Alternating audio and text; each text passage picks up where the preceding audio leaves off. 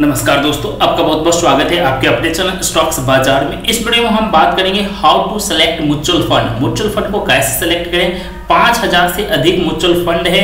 और उन mutual fund में सबसे बेस्ट म्यूचुअल फंड सेलेक्ट करना काफ़ी काफ़ी कठिन है। तो इस वीडियो में हम म्यूचुअल फंड को सेलेक्ट करना काफ़ी आसान बनाने की कोशिश करेंगे, जिससे आप अपना बेस्ट म्यूचुअल फंड सेलेक्ट कर सकते हैं लॉन्ग टर्म इन्वेस्टमेंट के लिए। साथ साथ अपने पोर्टफोलियो को डाइवर्सिफाई करने के लिए। देखिए how to select best mutual fund तो कुल एट पैरामीटर्स को मैंने यहाँ पर शामिल किया है।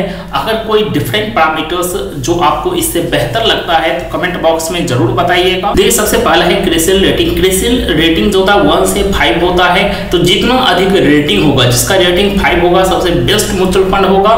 तो अगर आप ग्रो ऐप यूज़ करते हैं तो ग्रो ऐप पर काफ़ी अच्छे से क्रिसिल रेटिंग जो है म्यूचुअल फंड का दिया हो रहता है। तो जहाँ से आप क्रिसिल रेटिंग देकर के म्यूचुअल फंड को सेलेक्ट कर सकते हैं। उसके बाद दूसरा जो क्राइटेरिया है प्लान डायरेक्ट प्लान है या रेगुलर प्लान है? देखिए, डायरेक्ट प्लान में हमारा जो होता है, कई सारे बेनिफिट होते हैं। डायरेक्ट प्लान में हम म्यूचुअल फंड को डायरेक्ट सेलेक्ट करते हैं और डायरेक्ट इन्वेस्ट करते हैं। उसमें कोई बीच में इंटरमीडिएट नहीं रहता है जिससे हमें कमीशन नहीं देना पड़ता है। वहीं रेगुलर प्लान में एक इंटरमीडिएट रहेगा, जो आपके म्यूचुअल फंड को मैनेज करेगा। आपको कब कोई म्यूचुअल फंड बाय करना चाहिए, कब उसमें प्रॉफिट बुक करना चाहिए। तो वहाँ पर रेगुलर प्लान में काफ़ी ज़्यादा कमीशन होता है, जिससे आपका हो सकता है कि रिटर्न जो है काफ़ी कम हो जाए। साथ ही साथ जब हम डायरेक्ट प्लान और रेगुलर प्लान चूज़ करते हैं तो उसके साथ साथ एक्सपेंस रेशियो को भी आपको ध्यान रखना चाहिए। देखिए एक्सपेंस रेशियो किसी फंड का काफ़ी ज़्यादा है तो लॉन्ग टर्म में काफ़ी ज़्यादा वो इफ़ेक्ट करता है। किसी का एक्सपेंस रेशियो अगर टू है और किसी का एक्सपेंस रेशियो 0.5 है तो 1.5 परसेंट का रिटर्न पे इफ़ेक्ट पड़ेगा, जो एनुअल रिटर्न है। तो लॉन्ग टर्म में काफ़ी ज़्यादा इफेक्टेड करेगा आपके रिटर्न को। तो हमेशा जो कम एक्सपेंस रेशियो वाले फंड है, अगर सेम फंड ही किसी भी जैसे लार्ज कैप फंड ले रहे हैं तो कम एक्सपेंस वाले फंड के साथ जाएँ, जिसका एक्सपेंस रेशियो ज़्यादा है, उसको अवॉइड करें। उसके बाद जो चौथा क्राइटेरिया है, वो है रिटर्न कोई म्यूचुअल फंड पास्ट में कितना रिटर्न दिया है, आगे कितना रिटर्न दे सकता है, इसको देखना, इसको कंपेयर करना सबसे इंपॉर्टेंट रहता है, क्योंकि हम तो ओवरऑल रिटर्न के लिए ही म्यूचुअल फंड में इन्वेस्ट करते हैं इक्विटी में इन्वेस्ट करते हैं स्टॉक मार्केट में इन्वेस्ट करते हैं तो रिटर्न देखना काफ़ी इंपॉर्टेंट होता है। तो पास्ट रिटर्न को भी देखें, और उस फंड में कौन से स्टॉक है जो आगे चलकर कैसा रिटर्न दे सकता है तो इसको ज़रूर ट्रैक करें। उसके बाद जो पांचवा है, वो है रिपुटेशन ऑफ़ एएमसी जो एसर्ट मैनेजमेंट कंपनियाँ हैं, उसके रिपुटेशन को ज़रूर ध्यान रखें, जो वेल रिप्यूटेड कंपनी है, जैसे आपको हो गया Axis mutual fund UTI mutual fund SBI mutual fund ये सब म्यूचुअल फंड जो है वेल रिप्यूटेड एएमसी के द्वारा चलाई जाती है। तो ये काफ़ी इंपॉर्टेंट लगता है लॉन्ग टर्म में इन्वेस्टमेंट में, ये रिपुटेशन जो है एमसी का काफ़ी बेहतरीन हो। उसके बाद जो अगला पॉइंट है, वो है fund manager record fund manager का रिकॉर्ड कैसा रहा है? क्योंकि किसी भी गाड़ी पे आप सवार हो जाते हैं, लेकिन वो गाड़ी आपको अपने लक्ष्य तक तभी पहुंचाएगा जब उसका ड्राइवर अच्छा हो। तो फंड मैनेजर जो होते हैं, किसी भी फंड के ड्राइवर के समान होते हैं तो वही आपको इन्वेस्टमेंट के लक्ष्य तक पहुंचाएगा। तो फंड मैनेजर का रिकॉर्ड ज़रूर पढ़ लें कि वो फंड मैनेजर का कितना एक्सपीरियंस है, किस तरह से उन्होंने फंड मैनेज किया है, कैसा रिटर्न जनरेट करके अपने इन्वेस्टर को दिया है। इन सारी चीज़ों को हम फिर एग्ज़ाम्पल के माध्यम से भी आपको बताएँगे तो पहले सारे पॉइंट देख लेते हैं, फिर हम एग्ज़ाम्पल पे जाएँगे कि कैसे इन सारे पॉइंट्स को आपको किसी भी फंड को कंपेयर करते समय देखना है। उसके बाद जो सातवां है, वो है कंपेयर टू बेंचमार्क अपने बेंचमार्क से ज़रूर कंपेयर करें। अगर आप जैसे लार्ज कैप चुनते हैं निफ्टी फिफ्टी से हम उसको कंपेयर करें। क्या वो निफ्टी फिफ्टी को लार्ज कैप कंपनी में जो हम इन्वेस्ट करते हैं म्यूचुअल फंड में, वो निफ्टी फिफ्टी के बेंचमार्क को बीट करता है या नहीं? तो हर म्यूचुअल फंड अपना बेंचमार्क सेलेक्ट करके रखता है। अगर वो बेंचमार्क को लगातार बीट कर रहा है तो निश्चित रूप से फंड मैनेजर काफ़ी अच्छे हैं, काफ़ी अच्छा रिटर्न वो फंड जनरेट करके आपको दे रहा है। उसके बाद जो आठवां है, वो है weightage of sectors and stock कोई भी फंड आप सिलेक्ट करते हैं तो उसमें सेक्टर का और स्टॉक्स का वेटेज क्या है, ये ज़रूर सिलेक्ट कर ले। देखिए सेक्टर्स कुछ सेक्टर होते हैं, काफ़ी परफॉर्म करते हैं, कुछ सेक्टर होते हैं, उस समय काफ़ी अंडर परफॉर्म होता है। तो अब जो सेक्टर परफॉर्म कर रहा है, अगर उसका स्टॉक उसमें ज़्यादा है, जैसे आईटी सेक्टर काफ़ी अच्छा परफॉर्म कर रहा है, आने वाले समय में भी परफॉर्म करेगा। अब एफ़ सेक्टर जो कि कंसिस्टेंट रूप से परफॉर्म करता है तो अगर उसका वेस्टेज है तो आपका फंड कंसिस्टेंट रूप से अच्छा रिटर्न देगा। तो इसलिए सेक्टर को देखें, फिर उसमें से जैसे आईटी सेक्टर में जो स्टॉक अच्छे हैं, क्या उसको ज़्यादा वेटेज दिया गया है या नहीं? तो ये देखें तो स्टॉक का वेटेज क्या है? अभी कौन कौन से पैरामीटर आपको कैसे देखना है? तो उसके लिए मैंने एक यहाँ पर फंड सेलेक्ट कर लिया है, जो कि एक्सिस ब्लू चिप फंड काफ़ी कंसिस्टेंट रूप से रिटर्न या 18 परसेंट का CAGR है एट ईयर्स में। देखिए एट साल से कंसिस्टेंट रूप से ये फंड रिटर्न जनरेट करके अपने इन्वेस्टर को दे रहा है। और यहाँ पर देखिए, अभी जो इसका एन है, वो एन है फिफ्टी वन रुपीज़ पैसा। और यहाँ पर बात करें रिटर्न का तो काफ़ी अच्छा रिटर्न जनरेट करके दिया अगर म्यूचुअल फंड से एक्सपेंस रेशियो काफ़ी कम है। एफडी से ज़्यादा रिटर्न जनरेट करके हमेशा दिया है। रेड फ्लैग वाले होल्डिंग जो इसमें निग्लिजिबल है।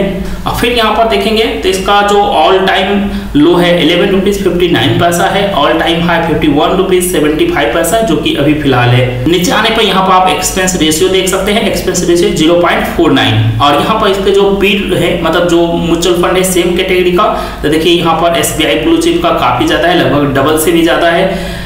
आईसीआईसी पोटेंशियल ब्लू चिप इसका तो और भी ज़्यादा है। और यहाँ पर देखिए मिडे जैसा लार्ज कैप फंड इसका 0.54 परसेंट है।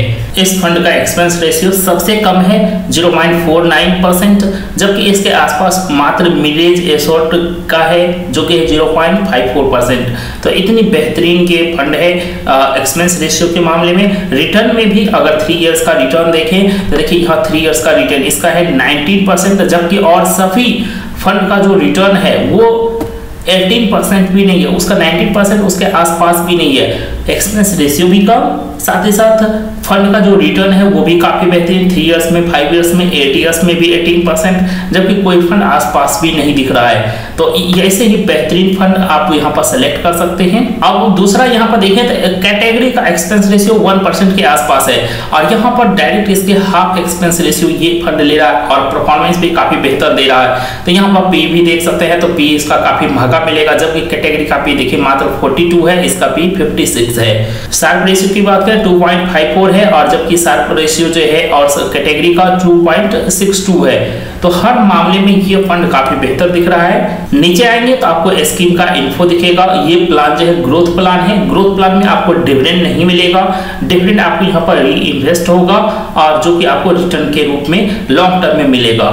फिर लॉक इन की बात करें तो ज़ीरो ईयर्स इसमें लॉक इन है मतलब कोई भी लॉक इन है, जब चाहे आप एग्जिट कर सकते हैं। लेकिन यहाँ पर एग्जिट लोट लगेगा। एग्जिट लोट क्या है? थ्री परसेंट लगेगा before six month six month से पहले कभी भी आप यहाँ पर एग्जिट लेते हैं।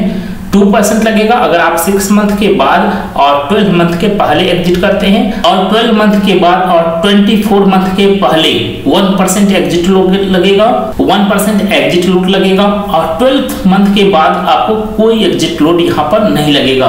तो टू ईयर्स यहाँ पर अगर आप इसमें इन्वेस्टेड आते हैं, टू ईयर्स के बाद आपको कोई एग्जिट लोड नहीं लगता है। साथ ही साथ यहाँ पर इसका जो बेंचमार्क है वो निफ्टी फिफ्टी है। तो निफ्टी फिफ्टी का रिटर्न आप देख लीजिए पिछले आठ सालों में क्या रहा है? क्या इस बे, अपने बेंचमार्क को ये फंड बीट कर पाया है या नहीं?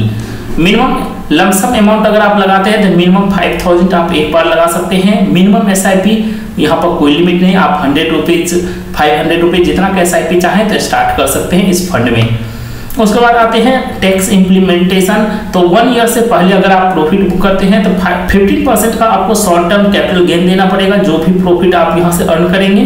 फिर अगर वन ईयर से अधिक रखते हैं तो टेन परसेंट यहाँ पर आपको लगेगा वन लाख रुपीज़ से ऊपर के आपके गेन पर. जो भी मतलब आप प्रॉफिट लेते हैं यहाँ पर तो वन लाख से ऊपर अगर प्रॉफिट होता है तो उस पर आपको वन ईयर के बाद टेन परसेंट का टैक्स पे करना पड़ेगा। फिर और आते हैं नीचे आपको तो यहाँ पर यह देख सकते हैं कि अगर आप मंथली इन्वेस्ट करते हैं वन टाइम इन्वेस्ट करते हैं तो कितना परसेंट का रिटर्न के अनुसार कितना आपको एक्सपेक्टेड जो है रिटर्न हो सकता है, वो यहाँ पर आप कैलकुलेट कर सकते हैं, जिसको हम किसी और वीडियो में आपको अच्छे से कैलकुलेट करके दिखाएँगे। उसके बाद यहाँ लास्ट आते हैं तो फंड मैनेजर आपको मिल जाएँगे। तो फंड मैनेजर यहाँ पर देख सकते हैं श्रेयस देवालकर है और दूसरा हितेश दास है। इनका experience six year Hitesh Das का, इनका फाइव ईयर्स का है। और यहाँ पर एम का जो रिपुटेशन है, उसके बारे में पढ़ सकते हैं। जो एक्सेस एसेट मैनेजमेंट कंपनी है, इसे एक्सेस बैंक ऑन करती है। इंडिया की तीसरी सबसे largest private sector sector bank है। इसका 74.99 परसेंट स्टेक जो है एक्सिस बैंक के पास है। और टोटल जो एसर्ट अंडर मैनेजमेंट है एक्सिस बैंक के पास, वो है two lakh thirty two thousand crore का। और टोटल जो स्कीम है एक्सिस बैंक के पास, वो है फोर्टी नाइन स्कीम तो इसलिए काफ़ी ज़्यादा स्कीम होने के कारण म्यूचुअल फंड को कंपेयर करना, अच्छे म्यूचुअल फंड को ढूंढना काफ़ी कठिन होता है। तो ये सारे पैरामीटर्स थे जिसके आधार पर आप म्यूचुअल फंड को सिलेक्ट कर सकते हैं। अपने बेस्ट म्यूचुअल फंड में लॉन्ग टर्म के लिए आप इन्वेस्ट करते हैं और अच्छा खासा रिटर्न वहाँ से जनरेट कर सकते हैं। अगर आप टेक्निकल एनालिसिस के द्वारा चाहते हैं तो टेक्निकल एनालिसिस के द्वारा भी यहाँ पर कंपेयर कर सकते हैं। देखिए वन मंथ में फंड ने किस तरह से परफॉर्म किया। तो यहाँ चार्ट देखिए अप ट्रेंड में है। सिक्स मंथ का भी चार्ट देखिएगा तो अप ट्रेंड में है। वन ईयर का चार्ट देखिए तो वन ईयर में भी अपट्रेंड में है म्यूचुअल फंड थ्री ईयर्स का चार्ट देखिएगा थ्री ईयर्स में भी अपट्रेंड है फाइव ईयर्स में भी अपट्रेंड है। मैक्सिमम ईयर में बात करें तो मैक्सिमम ईयर में भी अपट्रेंड में है। अगर कोई इसमें एस करता तो देखिए कुछ इस तरह का एस रहता तो एस में भी काफ़ी बेहतरीन रिटर्न दिया है इस फंड ने। और यहाँ पर पोर्टफोलियो देखना चाहते हैं तो इसमें कौन कौन से स्टॉक हैं? कितना मतलब वेटेज दिया गया है? तो यहाँ पर आप जाएँगे पोर्टफोलियो में। पोर्टफोलियो में जाने के बाद आप नीचे आते हैं। यहाँ पर देखिए, इसमें कुल 93.47 परसेंट इक्विटी है। कैश और कैश इक्विवेलेंट जो है इस फंड में, वो है 2.93 इस फंड में जो भी इन्वेस्ट करेगा, उसका इतना परसेंट कैश और कैश इक्विवेलेंट के रूप में रहेगा। इसमें फीचर और ऑप्शन में जो काम किया जाता है 1.94 परसेंट जो फंड का हिस्सा है, उससे डिपॉजिट जो होता है 1.54 परसेंट और जो राइट्स होते हैं 0.12 परसेंट यूज़ किया जाता है राइट्स में। फिर नीचे आते हैं तो यहाँ पर सेक्टर का वेटेज मिल जाएगा। प्राइवेट बैंक का जो इसमें वेटेज है 22.58 परसेंट है। आईटी और कंसल्टेंसी का वेटेज 18.37 स्पेशलाइज्ड फाइनेंस का 9.63 परसेंट। उसी तरह से और सभी जो सेक्टर्स है, उसका वेटेज आप देख सकते हैं। फिर आप यहाँ पर नीचे आते हैं तो जो करेंट होल्डिंग है तो इन्फोसिस का सबसे ज़्यादा होल्डिंग इस फंड में है, वो है 9.67 परसेंट बजाज फाइनेंस का 8.75 परसेंट एच बैंक है इसमें, तीसरा सबसे ज़्यादा वेटेज वाले स्टॉक्स जो कि है 8.68 परसेंट साथ ही साथ पिछले तीन महीने में क्या चेंज यहाँ पर आया है इस स्टॉक्स में, वो भी आप यहाँ पर देख सकते हैं। और टोटल कौन कौन से स्टॉक इस फंड में है, वो सारे स्टॉक्स यहाँ पर आप देख सकते हैं। तो नीचे चलते जाइए, देखिए सारे स्टॉक्स आपको यहाँ पर मिल जाएँगे। कौन कौन से स्टॉक है, कितना वेटेज है, सारी चीज़ें यहाँ पर आपको देखने मिल जाएगा। तो कुछ इस तरह से आप कंपेयर कर सकते हैं। जितने भी पॉइंट्स मैंने आपको बताए थे, लगभग सारे पॉइंट्स यहाँ पर मैंने बता दिए कि किस तरह से आप उस पॉइंट के आधार पर म्यूचुअल फंड को कंपेयर कर सकते हैं और यहाँ से बेस्ट म्यूचुअल फंड सेलेक्ट कर सकते हैं। अगर ज़्यादा कंपेयर करना हो पेज पे जाएँगे, सारे पेज पे जो इसके फंड है, वहाँ पर आप आकर के यहाँ कंपेयर कर सकते हैं। रिटर्न क्या है स्कीम क्या है सबका रेशियो क्या है सबका, यहाँ पर आप देख सकते हैं। अगर ओपिनियन जानना हो तो अलग अलग जो यूट्यूब चैनल है ब्लॉग है, उस पर यहाँ पर देख सकते हैं, यहाँ पर आपको मिल जाएँगे इस फंड के बारे में क्या ओपिनियन है। तो यहाँ पर देखते हैं, कई सारे मतलब चैनल है जो इस पे अपना ओपिनियन दे रखा है तो आप इन ओपिनियन को जा करके किसी भी चैनल पर देख सकते हैं और वहाँ से इस फंड के बारे में डिटेल में जान सकते हैं। तो उम्मीद करते हैं कि ये वीडियो आपको म्यूचुअल फंड को कैसे सेलेक्ट करना है बेस्ट म्यूचुअल फंड आप कैसे सेलेक्ट कर सकते हैं, उसके लिए हेल्पफुल रहा होगा। तो वीडियो को लाइक और अपने सभी दोस्तों के साथ शेयर ज़रूर कीजिएगा। और चैनल पर पहली बार है, ऐसे एजुकेशनल और इन्फॉर्मेटिव वीडियो के लिए चैनल को ज़रूर सब्सक्राइब कर लीजिएगा।